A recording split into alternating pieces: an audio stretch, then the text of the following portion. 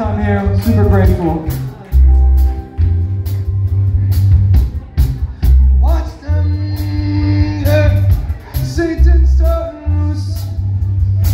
Just to fool up the. You never love.